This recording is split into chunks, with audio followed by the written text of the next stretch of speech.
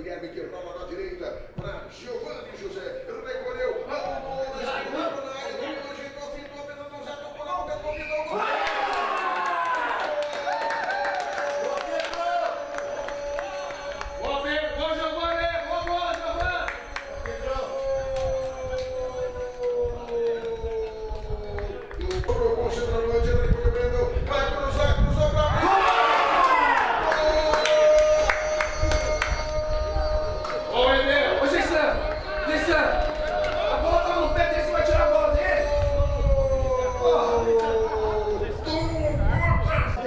Giovanni Ceboni che rifiuta